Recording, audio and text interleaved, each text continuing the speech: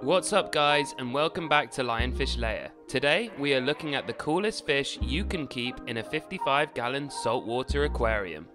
Before I begin my list, some important things to note are that these fish are all super hardy and beginner compatible, as well as being suitable for a 50 gallon tank too. First up, a dwarf angelfish. My favourites and the most well suited to this size aquarium are flame and cherub angelfish. Next are wrasses. You can keep a whole host of different wrasses depending on your preference. Fairies, six lines, yellow coris, and carpenters are all good options.